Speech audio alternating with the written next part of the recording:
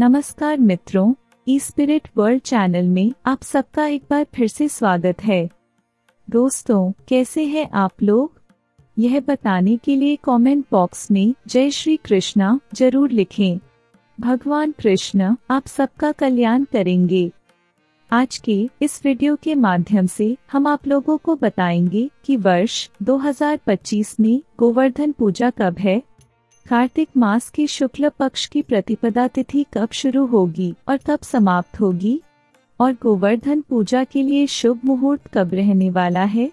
इन सभी जानकारियों के लिए अंत तक इस वीडियो के साथ बने रहे।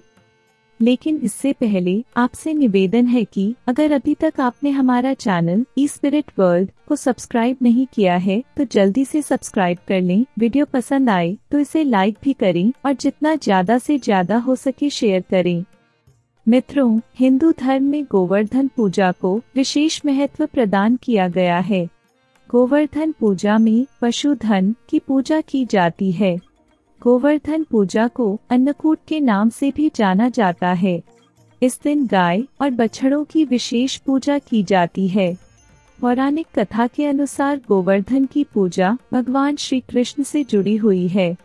माना जाता है कि भगवान श्री कृष्ण ने इंद्रदेव के प्रकोप से गोकुल वासियों की रक्षा के लिए गोवर्धन पर्वत को अपनी छोटी उंगली पर उठा लिया था, जिससे सभी गोकुल वासियों की रक्षा हुई और इंद्रदेव का घमंड भी टूट गया। तभी से इस पर्व को मनाने की परंपरा चली आ रही है। गोवर्धन पूजा से जुड़े अनुष्ठान हिंदू धर्म में विभिन्न संप्रदायों के अनुसार अलग अलग हैं। कुछ राज्यों में इस विशेष दिन भगवान अग्नि, इंद्र और वरुण, वज्र और महासागरों के देवताओं की भी पूजा की जाती है। इस दिन से जुड़े कुछ विशेष अनुष्ठान के बारे में हम आपको जानकारी दे रहे हैं। इस दिन गोवर्धन पर्वत के आकार का गोबर का ढेर बनाया जाता है और उसे फूलों से सजाया जाता है। जल, अगरबत्ती, फल और अन्य प्रसाद चढ़ाकर पूजा की जाती है। यह या तो सुबह जल्दी या देर शाम को किया जाता है। कृषि में लोगों की मदद करने वाले बैल और गाय जैसे जानवरों को इस दिन सम्मानित किया जाता है। उन्हें सजाया जाता है, उनका श्रृंगार किया जाता है। गोवर्धन गिरी के नाम से जाने जाने वाले पर्वत की इस दिन अपने आप में एक देवता के रूप में पूजा की जाती है। गाय के गोबर से एक मॉडल बनाया जाता है और उसे ज़मीन पर रखा जाता है। इसके ऊपर एक मिट्टी का दीपक रखा जाता है जिस पर कई आहुतियाँ दी जाती हैं, जैसे कि बताशा शहद दही दूध और गंगा नदी का पानी। इस दिन कुशल कारीगरों के देवता भगवान विश्वकर्मा की भी पूजा की जाती है। उद्योगों में मशीनों और कारखानों में मशीनरी के लिए पूजा की जाती है। देश भर के मंदिरों में इस दिन भंडारे आयोजित किए जाते हैं। गोवर्धन पूजा का एक महत्वपूर्ण पहलू गाय के गोबर से बने पर्वत के चारों ओर परिक्रमा करना भी है, जो गोवर्धन पर्वत का प्रतिनिधित्व करता है।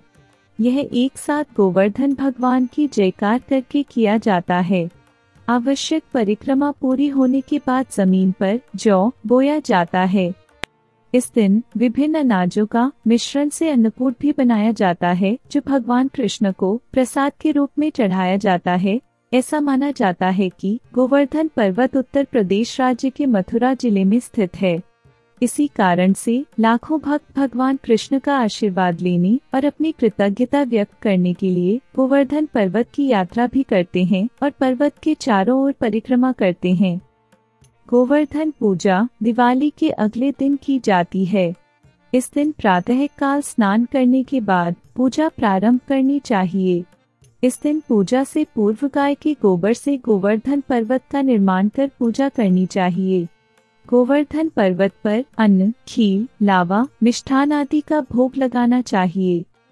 अब जानते हैं, साल 2025 में गोवर्धन पूजा कब है? और पूजा मुहूर्त क्या है? हिंदू पंचांग के अनुसार, साल 2025 में गोवर्धन पूजा बुधवार 22 अक्टूबर को है। कार्तिक मास के शुक्ल पक्ष की प्रतिपदा तिथि को गोवर्धन पूजा के लिए प्रातः काल में शुभ मुहूर्त बुधवार 22 अक्टूबर 2025 को प्रातः छह बजकर छब्बीस मिनट से आठ बजकर बयालीस मिनट तक है। पूजा की कुल अवधि दो घंटा सोलह मिनट की होगी। गोवर्धन पूजा के लिए संध्या काल में शुभ मुहूर्त, बुधवार 22 अक्टूबर 2025 को संध्या तीन बजकर उनतीस मिनट से पाँच बजकर चवालीस मिनट तक है। पूजा की कुल अवधि दो घंटा सोलह मिनट की होगी। कार्तिक मास के शुक्ल पक्ष की प्रतिपदा तिथि, मंगलवार 21 अक्टूबर 2025 को संध्या पाँच बजकर चवालीस मिनट से प्रारंभ होगी और बुधवार 22 अक्टूबर 2025 को रात्रि आठ बजकर सोलह मिनट पर समाप्त होगी। तो मित्रों, कैसी लगी ये जानकारी? कमेंट बॉक्स में ज़रूर लिखें और शेयर करना न भूलें। फिर मुलाकात होगी अगले वीडियो में किसी नए विषय के साथ, तब तक के लिए नमस्कार।